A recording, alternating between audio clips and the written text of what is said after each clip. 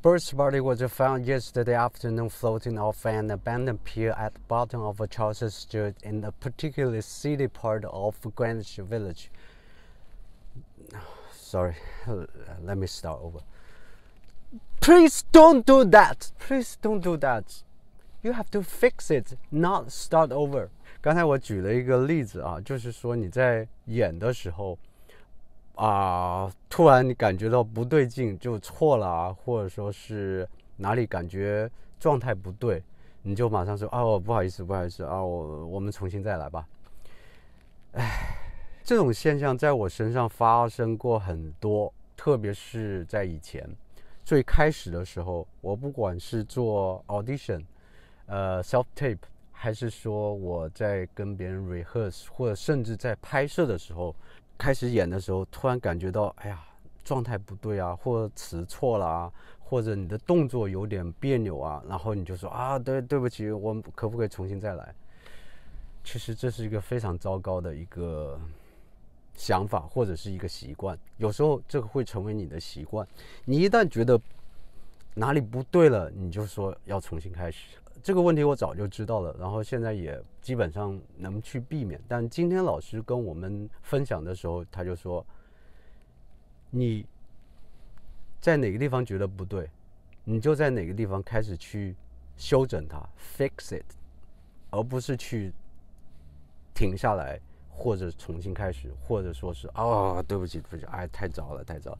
不是，你一定要在那个时候把它捡起来。”我相信大家都有看到过一些节目，就是主持人，特别是现场的主持人，他遇到一些突发的事情，然后好的主持人的话，他的反应就是马上把它圆回去，把它转化成一个很巧妙，或者是很有意思的一个呃转折，或者说是一个把它变得。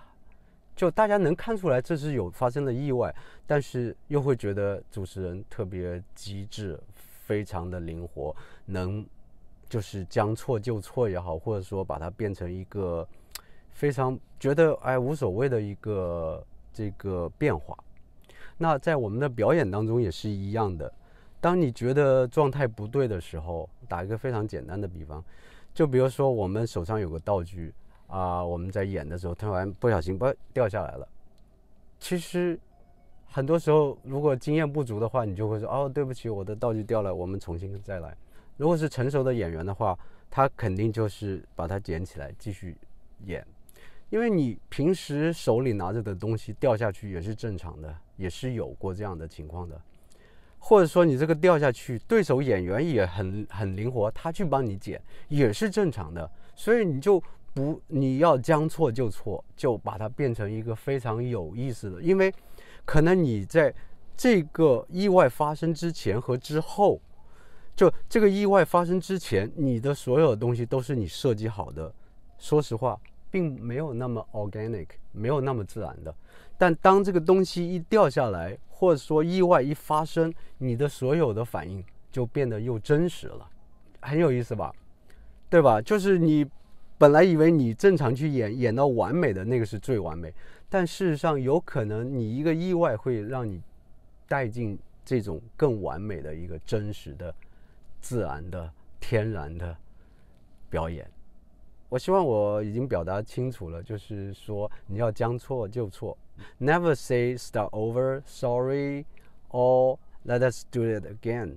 Don't say that. Just fix it right away. 今天就分享到这里，拜拜。